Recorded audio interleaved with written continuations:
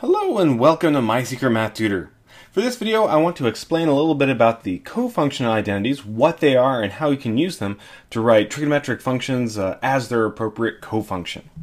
So let's first explain a little bit about some neat relationships that we have in a nice right triangle.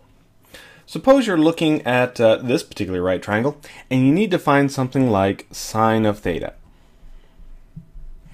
Now, using uh, what you know about sine, uh, you can find that value by taking the opposite side and putting it over the hypotenuse. So in this case, you get y over r. And one thing that I like to emphasize in a lot of my videos is that this value really depends on what angle you're looking at. So uh, let's go ahead and do another one. Let's go ahead and look at cosine of beta. That's my other angle. So we're looking at here at the upper right hand, and for cosine, we're thinking of the adjacent uh, over the hypotenuse. So in this case, y divided by r. Now, notice how in both these instances, even though I used different trigonometric functions and different uh, angles, I got the exact same value uh, or the exact same ratio for sides. This is not um, an accident. Uh, this is exactly what we're looking for when I mean by cofunction identities. Sine and cosine uh, will have the same value as long as their angles are complements of one another. So you can actually do this with a lot of other angles uh, and essentially get the same value. The way we make this a little bit more precise is we say, okay, suppose I want to find something like sine of the angle theta. That's really going to be the exact same value I'd get if I looked at cosine, oops, cosine of 90 minus the value of my original angle. And you can see how this really works. This really is my angle beta up here because if this was say, um, I don't know, 30 degrees, this would have to be 90. Uh, 30 and 60 add up to be 90, so sure enough that would be my other one. So it's really saying that this angle has to be the complement to this one, and we need functions that are uh, co-functions of one another, so like sine and cosine. Now you can do this with all of your trigonometric functions, and this is where the cofunction identities come from.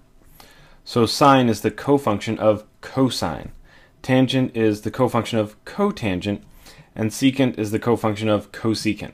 In fact, you can really hear it in its names, uh, so you can figure out which is connected with which.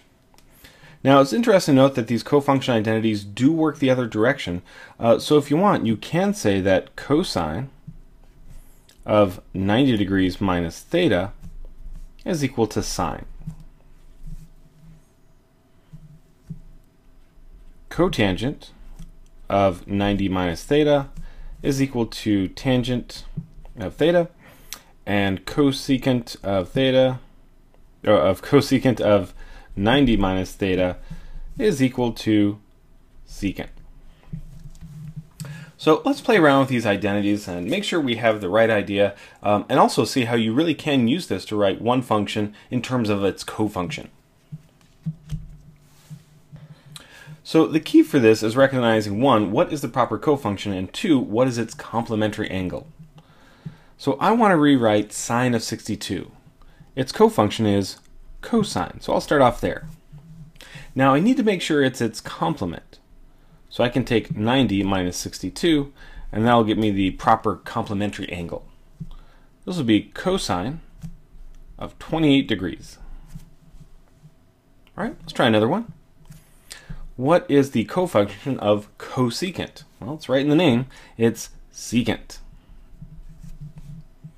Get our complementary angle in there, so 90 minus 59. And this will give us secant of 31. All right, one more to go. Tangent's cofunction is cotangent. Complementary, 90 minus 13. So 9 minus 13, 77. Cotangent of 77. So of course there's many uh, other identities, uh, but these are really neat uh, because at least you get some sort of clue about how things are connected really from the names of the functions themselves. If you'd like to see some more videos, please visit mysecretmathtutor.com.